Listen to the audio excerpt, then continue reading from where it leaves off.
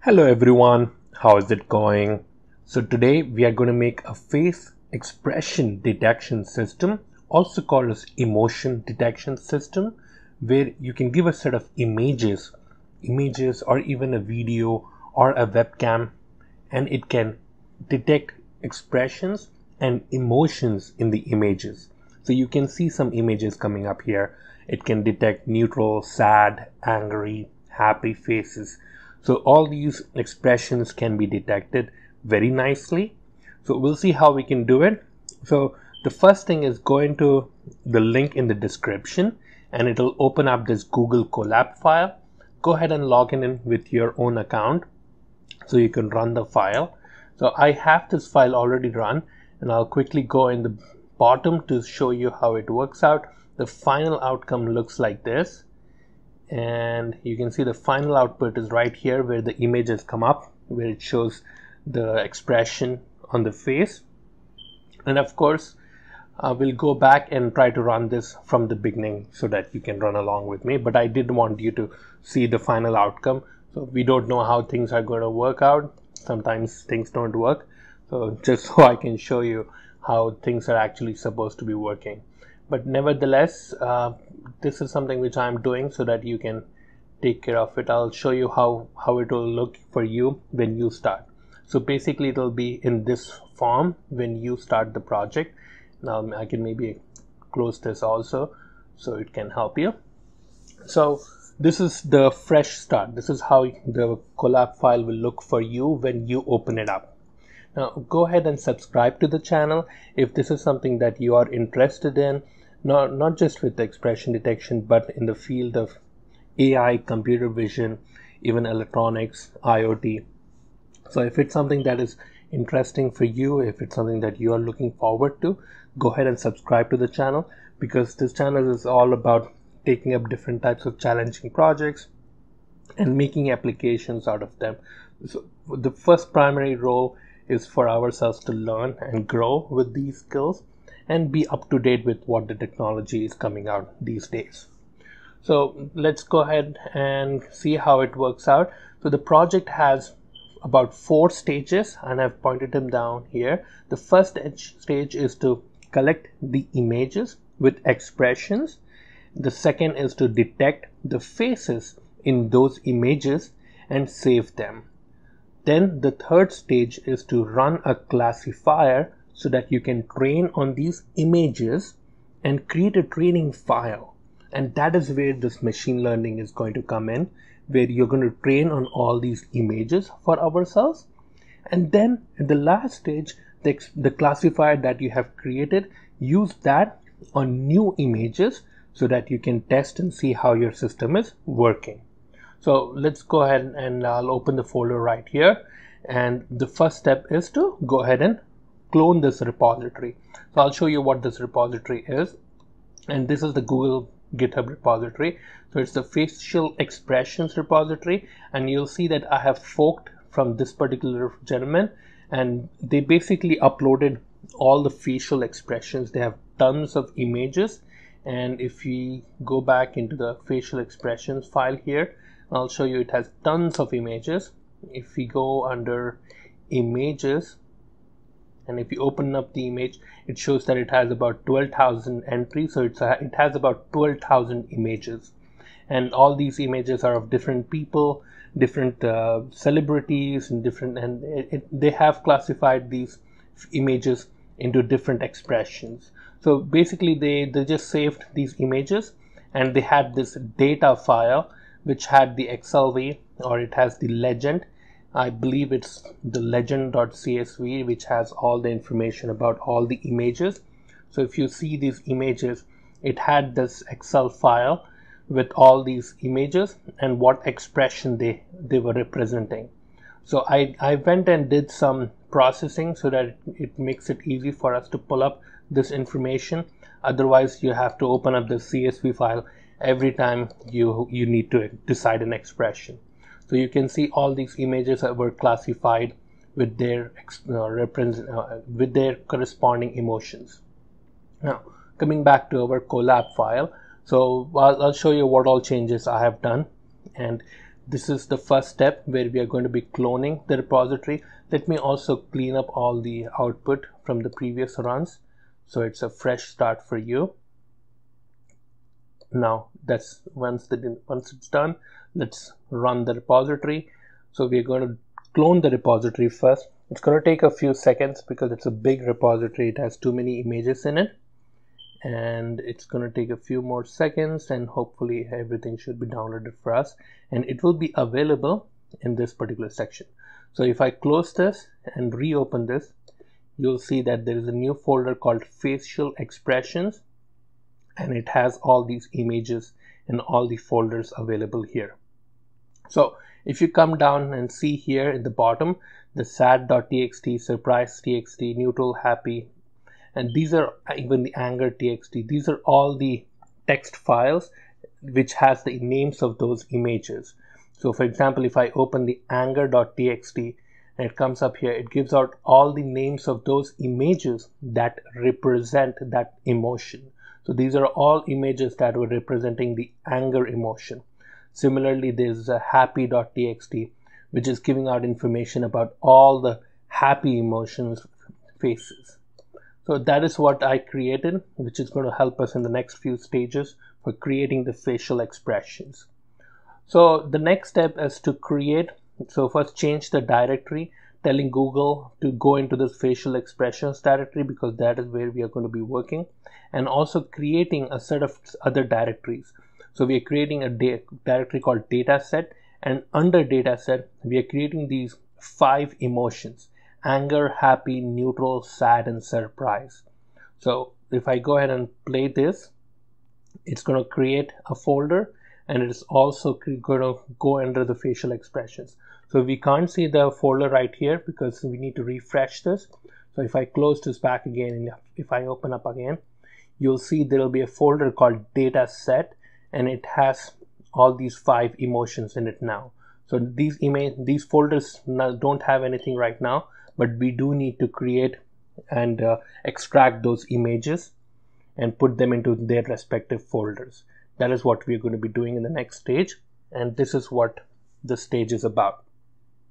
So coming down here, run this and what it's going to do is it's taking out all the images from the anger.txt file and it is saving under the anger dataset anger folder. So if I open up this anger folder now, it will have a certain set of images in it. So you can see all it has all these images and these are about 250 images that are saved under the anger folder. Similarly, if we want to do it for the happy image, happy emotion, so if we change this to anger from anger to happy, we need to change this as well. So make sure you're doing it on the same place. So happy.txt and you're also changing the happy folder directory. So it's taking all the happy txt images all the images from the happy txt file and saving them under this dataset images. So let's play this and now it's going to do it for happy as well. So if we open up happy now now happy is supposed to have some images present in it. So that's good so it means that happy is working now the neutral and sad, they are empty for now and we're going to keep it empty just for the sake of this video. Otherwise it's going to become very big.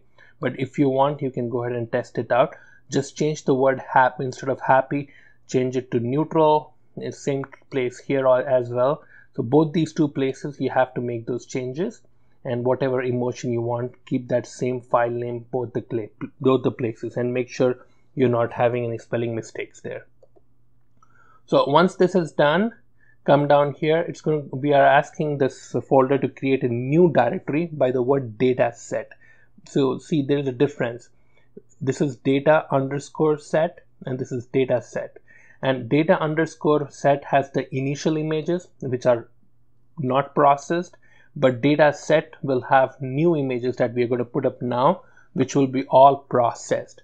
So let's go ahead and create that directory. And it will create a new directory called data set here. So again it's not showing because we need to refresh this. So I close this and I open it back again. And we now see a new data set directory created here for us. So this is until here it was all about all about seeing pre-processing. It's all about collecting information data collection which is the most important aspect in any machine learning project to have good amount of data and pristine data good quality data and there's it's all organized in the right format that your project needs. So until here we were just doing data collection and data saving. Once that is done come down and the first step is to create the data set of images. So here we are going to first create the data set of anger images and we're going to create a data set of all the faces that ha just have anger. So we we do have we i mean now you might ask that we already have faces with anger here with all the angry images here. But why, why are we again doing this creating a data set of faces? That is because these images that are here these are images of faces but also along with their background behind it so these are not just faces it has their background it's it, the image has the uh, the background information as well which is not needed for our training algorithm. We just need the profile of their face. So for that purpose we are creating that cropped image with just faces on it. So we'll go ahead and create this and here it's an important step so make sure you follow along very closely so the, when you press play button here make sure you're writing down whatever you need. So you're creating anger and you're also changing anger here. So whatever you whatever emotion you're having here make sure you put down here as well with the same spelling. So anger.txt anger dataset so play this and it will ask you for the user id so whatever emotion you're creating remember the user you, remember the user id create a user id for yourself and the first user id starts with a zero. So in our case anger is the first emotion that we are detecting. Like that there are about five emotions that we can do and the anger is the first one which we are going to be doing now and we will start with the initialization of zero. So i'll put down zero here and I, i'll press enter so when I press enter, it will go through all the images in the under the anger image, under the anger folder and create them in the data set. So you can see if I open up data set now, it will have all these images and it has this ID zero attached to it. So it says user zero. So user zero is nothing but faces with the angry images in it. So now next step next step is to let's do the same thing for happy. So like we did for anger, change it to happy. So happy.txt and instead of again here instead of anger you're going to put happy.txt. So now it can create images for happy. So the same thing press play button and it will again ask you for the user ID. In this case press 1 because happy is the second emotion that we are testing today. So uh, we just press 1 and we press enter and it will go ahead and create find all the happy images from here and save it under the dataset folder with the id 1 so it says that it's done and let me close these back again. So it has created all these images for our anger and happy. So both of them are saved under this dataset folder. The next step next step is to train the images. For that we need to first create this folder called trainer and let's place it let's save that and the trainer folder hopefully should come by itself but it's not coming in. So we again close this and open back again. So you can now see that there's a trainer folder here. Right now there's nothing in it but we will now create that trainer file that classifier or that machine learning output file and it will be saved under this trainer folder. So coming back here coming down here uh, there is nothing that we need to edit over here. We just go ahead and press the play button and it will create that trainer file for us so you can see that it's showing that it's training the faces. So it's going through each face in that dataset folder and creating a training file for us.